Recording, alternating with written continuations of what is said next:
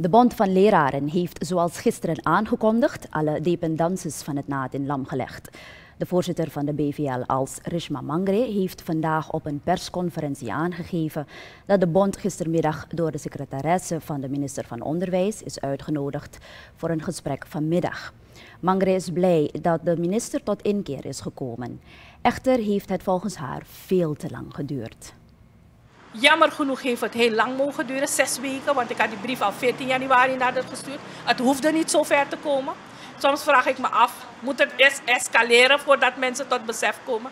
Maar goed, uh, ik ben blij dat de minister ook heeft ingezien dat er een open communicatielijn moet zijn.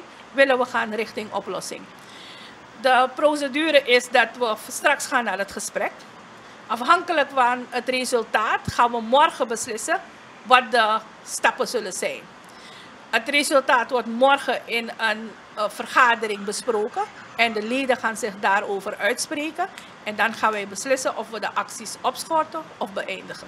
Mangre geeft verder aan dat er vanmorgen een vergadering op het NADIN is belegd, waarbij de leerkrachten en studenten op de hoogte zijn gesteld van de recente ontwikkelingen. Volgens de BVL, BVL als voorzitter heeft niet alleen het NADIN problemen, ook het EOL zit met issues.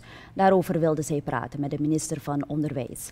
Mangre is er dan ook niet over te spreken dat de minister van Onderwijs van plan is studentenflats te openen, terwijl leerlingen verstoken zijn van onderwijs en leerkrachten en directie met elkaar overhoop liggen.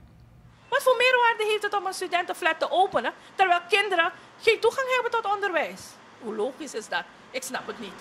Dus ik bedoel, we kunnen prioriteiten stellen. Ik heb er niks aan, ik kom aan niemands beleid. Maar je moet ook wel realistisch zijn. En ze, ze exposeert het zo alsof de begrotingsbehandeling zo belangrijk is. Ik bedoel, wat neemt het weg om een half uurtje maar met de vakbond te zitten?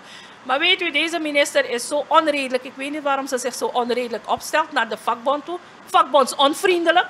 De uitspraken die ze doet, dat we niet het terrein mogen betreden. Dat uh, vakbonden bemoeien, bemoeienis hebben en komen bepalen. Ik vraag me af of ze de conventies wel kent. Wij zijn de wettige vertegenwoordigers van de leraren. Als wij, ons, als wij niet opkomen voor die leraren, denkt u dat de minister dat gaat doen? Elke dag hebben we leraren hier die met duizenden één problemen komen. Mutatiebeleid, mensen die van het een op het andere moment worden weggehaald. Rancune. Een basha-beleid op het ministerie. Hoe moeten we dat oplossen? Een opgewonden BVL als voorzitter die niet te spreken is over het beleid van de minister van Onderwijs. Over het resultaat van het gesprek met de minister wil Mangre vooralsnog niets kwijt. Ze geeft aan eerst de leerkrachten van het NATIN te willen informeren, alvorens in de media uit te wijden.